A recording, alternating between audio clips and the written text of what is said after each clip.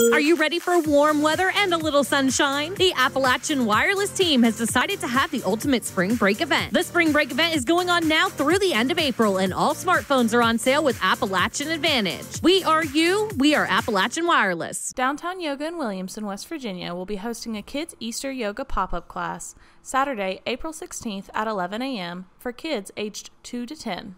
So it's just a good time for kids to get out and explore something different. Yoga is not something that's practiced, you know, in our school systems and things. So that's good for their mind, their body, and not in such a competitive um, atmosphere all the time. So it's something new for them to experience together. The class will offer yoga instruction, Easter crafts, and have snacks available for the kids. Really, a good thing for children to explore a new type of exercise. And I, we feel like if we expose kids to something like yoga at an early age, it will get them more interested in taking care of their bodies as well as their mind.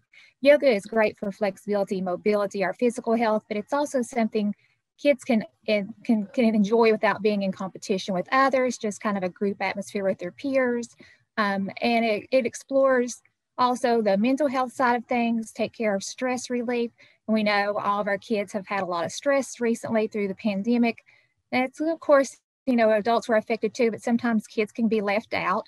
So yoga is just a good practice to get them started at an early age, learning about their body as well as taking care of their stress. Pre-registration is required and costs $5. To register or to learn more about classes offered, go to Downtown Yoga on Facebook. For Mountaintop News, I'm Brianna Robinson.